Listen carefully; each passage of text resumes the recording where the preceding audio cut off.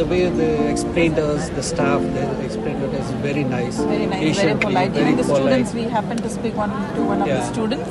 He also gave He a was very, very, good, polite. Uh, Uh, his experience, how he came through. As parents, we like to go for the best of the colleges. We're already impressed with all the infrastructure and amenities that uh, has been projected to us, and uh, hope it's in line with you know what they are to experience if they enter VIT. from Guduvancheri.